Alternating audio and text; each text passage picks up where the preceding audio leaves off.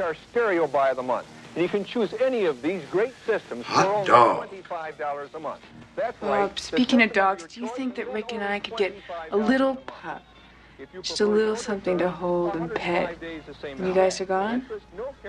No. Make your first payment 45 days after. No, no, no fucking dogs. In 105 days, and you'll pay no Why, Bob? What do you got against dogs? Look, no fucking dogs, and that's final. Why don't you tell them what happened to the last one we had, Bob?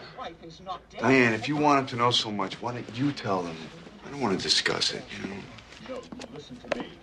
We had a dog once. His name was Panda. Cutest little pup you ever did see. That little guy used to follow Bob wherever he go. Anyway, what happened was the police were after us during a raid on a drugstore in the city. He came out of the bedroom and he stopped at the closet.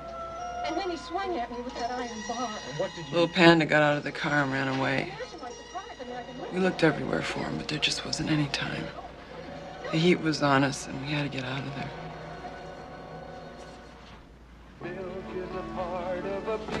We thought the little guy got hit by a car or something. Next, a young woman. No, What to do? Police had him. Beasley's frozen dinners. 25 Somehow they knew he was our dog. They followed him all the way home. I served the drinks.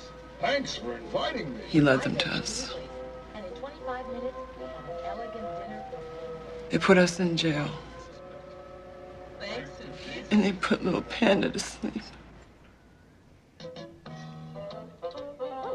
For a brighter coat, whiter teeth, and a more even disposition, there should only be one choice. Rich gravy, no cereal, gravy.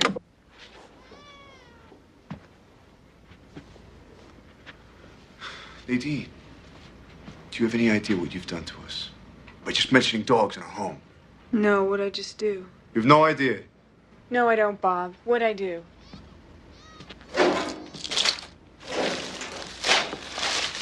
You just put a 30-day hex on us, that's what you did. Our luck just flew out the window for the next 30 days. You got a calendar so we'll know when this hex ends? What month is it anyway? Jesus, Bob. No one ever told us anything about not mentioning dogs. The reason nobody mentioned dogs, Rick, is because just to have mentioned a dog would have been a hex in itself. All right, well, now that we're on the subject, are there any other sacred things we're not supposed to mention that are going to affect our future? Yeah, as a matter of fact, there are. And we might as well discuss them right now, being as we're shut down for the next 30 days. Hats. Okay, hats. If I ever see a hat on a bed in this house, man, like, you'll never see me again. I'm gone. That makes two of us. Why a hat? Because that's just the way it is, sweetie. And there's mirrors. Never look at the backside of a mirror. Because when you do, it'll affect your future. Because you're looking at yourself backwards. No, you're looking at your inner self. And you don't recognize it because you've never seen it before. Anyway, you can freeze into motion your future. And that can be either good or bad. In any case, we don't want to take any chances. But the most important thing is the goddamn hat. A goddamn hat on a bed is the king of them all. Hell, that's worth at least, what, 15 years bad luck?